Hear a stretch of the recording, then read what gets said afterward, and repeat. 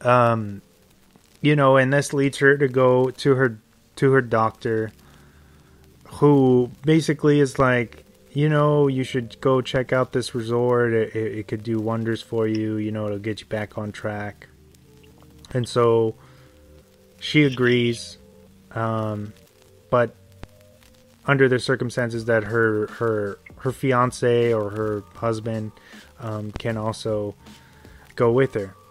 So when when they when they when they go, there's all of these weird kind of all of the patients are super oddballs. You have like this um, this older gentleman who's just like get looks like he's given up on life. He wants to when, yeah, when they're when they're at the this kind of bonfire thing, he's like trying to kill himself. Uh, he almost spills Yeah, the he's beans. like my. My my teeth are so sharp. Yeah. I can't take it anymore.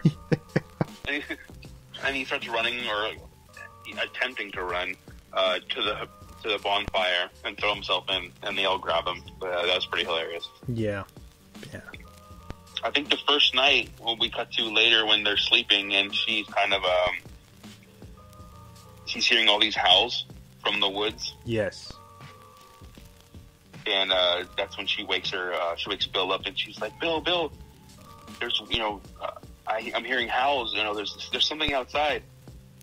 And she's like, I, "I know it's a wolf or something," and he's like, "Karen, you're born in the city. You're raised in the city. You know." There are sounds out here basically that you've never heard before, so just you know, calm down, go back to sleep. Basically, was what he's trying to tell her. Um, but um, I, I took that as you know all the were they they all transformed into werewolves and they were just roaming the woods yeah, pretty much. Um, but yeah, if I were her, as soon as that happened, I if I were her, I would have just closed the window because she just she just goes back to sleep and leaves the window open. um, I'm like, okay, yeah, you're not that scared then because the window's still wide open and you're like three feet from the window. Um, but yeah, that makes sense. 80s 80s logic for you. yeah, pretty much. Um, and then um, as she as as Karen gets more suspicious, she uh, we get like kind of our subplot with her friends who go to investigate um, the the serial killer from the beginning of the film, and I think they go uh, to to kind of uh, check out the body, and then they realize that the the the body has disappeared from the morgue. the classic line, well, it couldn't have just got up and walked away. and you have like huge claw marks on the on the if you look at the I forget what those are called like but there's like the gurney where they keep them so that they're they're Like on cooler. yeah it's like a slab type of deal Yeah, yeah. and they keep them locked in there and and it's clear that he like broke out um and so i think that that that's around the part where her friend and her friend's boyfriend they're that they're invest so they're investigating the serial killer and they realize that he's linked to the colony as well Yeah. or that he was a patient there or something and um What, what gave what gave uh, her friend and um, I think it was it Chris and Terry. yes terry and chris that's correct Yeah. What gave what gave them the idea to look at a um, to go into like a um, that kind of um, occult store? Was it because of all the like the bones and stuff that were hanging around in his apartment? Yeah, yeah, I think that they're Okay. uh huh. I think that's why they went down that road, and then you have like a great cameo by the the late Dick Miller, who is uh, I, I was I was just gonna say I loved him in this movie. I think everything everything that he's in, the little tiny parts that he's in in, in most movies that I've seen him in, he's great. He steals he steals the show. Um, for, for whatever reason, I think he just just you know wait the, the the two minutes or three minutes that we see him on screen is uh, for me at least. I think he is just really captivating, he was really captivating in just those little moments. He knew how to work the camera and how to to. Um, he had something about him that was uh, magical. Yeah, I 100% agree. And he's um he's just kind of talk shit to them the whole time. Yeah. Um but they so they end up going what do they what do they get from the from the store when they go and see him? Um, it's a bunch of books on like werewolves. Yeah. Yeah, and then that's when he tells them, he shows them this. He's like, oh yeah, people believe in all types of crap, and, and they're like, oh, and then I think they ask him like, like, do you believe in this or something? He's like, no, I'm a salesman. He's like, it's my job to sell people on this. He's like, but I got tons of, I got tons of books on this stuff, so you know, what do you want me to do? And then he shows him a case of, uh, he's like, these are leg- uh, genuine silver bullets. Uh, some guy had them made, and um, and uh, he was going to pick them up, and he's you know skipped town or whatever. So I have him here now, uh, but they're real silver bullets, and you can use them. He's like, but um, and then you know they, I think that was kind of foreshadowing to you know what was going to happen later on. Um, but they uh, then they, I think it cuts to uh, Terry uh, deciding to go and meet up with um, with Karen at the uh, at the what do they call it the community The the colony, I believe. colony yeah the colony yeah so she uh, drives up there uh, to go meet Karen at the colony and I think uh, Chris decides that he's going to stick behind and kind of do some more research and see what he can find out uh, if, or if he can find out any more about uh, Eddie uh, the serial killer or, and see if they can you know find him or find his body um, and I think Terry's only there for like a day or two. Yeah, and I think that the like low key the the colony, all the people are not really liking that she's there Yeah, yeah. because she's snooping around. Um, which, Well, which we skipped we skipped we skipped over the part where Bill um, got attacked in the woods.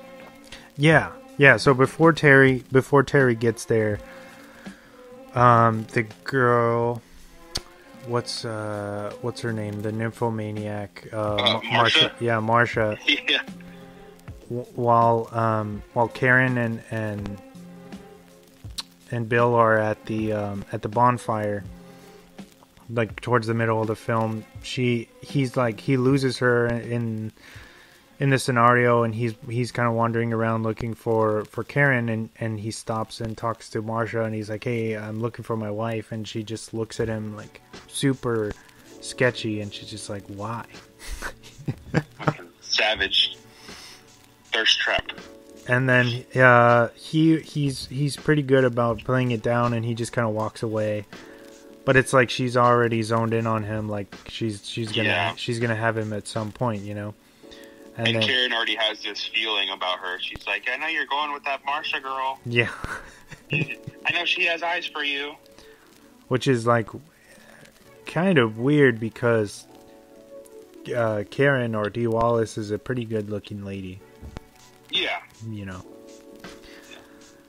Um, but yeah, like you said, Bill ends up getting its uh, scratched um, while in the forest, which causes him, of course, to to become carry on the the werewolf cor- curse, and um, you know, and then uh, Karen wakes up in the middle of the night to get comfort from Bill, and, and he's not there, and she thinks it's really weird, and she just kind of pouts and doesn't really qu- question it anymore. Uh, and then Yeah. and then we see we see the reason why Bill's not there is that he's meeting up with Marsha like uh, in the middle of the woods, and they're gonna do some unsavory things.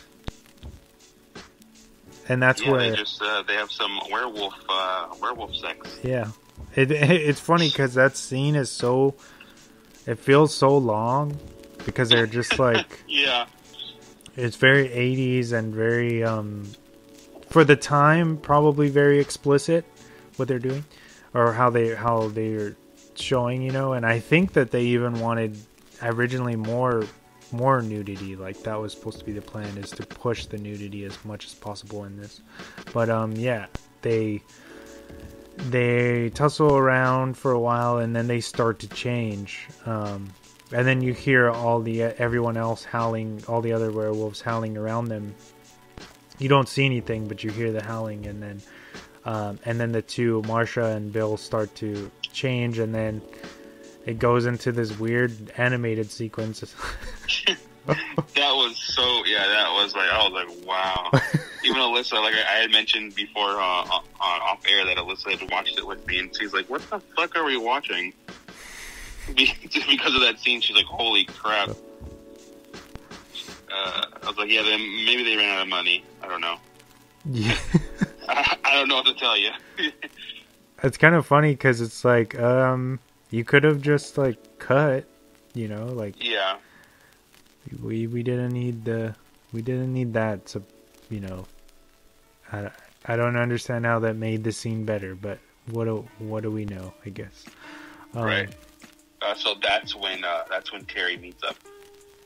that's right. So because bill starts acting really suspicious then uh terry ends up going there by herself without without chris stays behind correct Yeah, yeah, yeah. Like I said, he stays behind to I think do some more research on on uh, Eddie Quist, um, or or to find out where uh, where he went. so then terry goes up and she's um I know she uh, at one point um, she's there for a little bit, and they're on the beach talking. Um, they make a. Uh, I think Terry brings a like ribs or something to eat, yeah oh yeah and and then she's like, oh, she's like, uh, because Bill throughout the whole entire film, Bill makes it known that he doesn't eat meat; he's a vegetarian. And then it cuts to uh, she says, oh, I'm sorry, all I made was ribs." And she's like, "Oh, I think she said something about like I feel so sorry for Bill." And she's like, "Sorry about the ribs, Bill." And he's like, "Oh no, don't worry about it. If I'm hungry enough, I'll eat, I'll eat anything." And he's just munching on the ribs. And uh, that's when I do believe um, terry um the, ne- the next she goes on her own her own little adventure, basically. Yeah, to to do some kind of investigating, and then she ends up being um, attacked by by a werewolf. Because uh, well, she gets attacked at the at the cabin. I think it's Marsha's cabin first. Yeah, first, yeah, and she yeah. she's and able. She cuts off. She she's able to escape by cutting off one of the hands to uh, one of the werewolves that was attacking her. Yeah, she's able to get out of the cabin, and she gets into this kind of side panel thing. But the wolf figures out where she's at, but she ends up having a grabbing a hatchet um, and taking off the the wolf's arm her forearm. Yeah. and she gets away. Uh, she goes to I think the doctor's office, and immediately, of course, calls Chris and tells him like he he has to get up there immediately. That and and then the and then like it reveals like the, there's another wolf right there, like Yeah. in the in the room, and he starts just thrashing on her while while Chris is still on the phone, and he's just helpless and hearing everything. Yeah, I think um, yeah that, that's that's when uh, he takes off and he calls the uh, I, I want to say the sheriffs in that in that county or wherever it's at, um, and tells them you know to go to the colony and uh, go to the sheriff's like, well, I'll, I'll go ahead and meet you up there. I'll call the state troopers and everything or whatever. But he's We'll super up there. relaxed about it. He's just Yeah, like yeah, he's just chilling with his feet up on the on the chair. he's like, "Don't worry, I'm sure everything's fine." Like, while he's eating. Um, yeah, and then he, um, that's when, uh, Chris, he goes back to that, like, occult store, um, and then he goes and snatches up the, uh, the silver bullets. Um, I think he, he pays them more, I, I don't know, I think he gives them like 40 bucks or something, and, and then, uh, Dick Miller's like, Ew, I don't know how much those are. I gotta get him appraised praise first. He's like, bill me. and he takes off. Um, but yeah, he had he's heading up there. Um, and what happens? That oh, um, Karen ends up going to the the doctor's office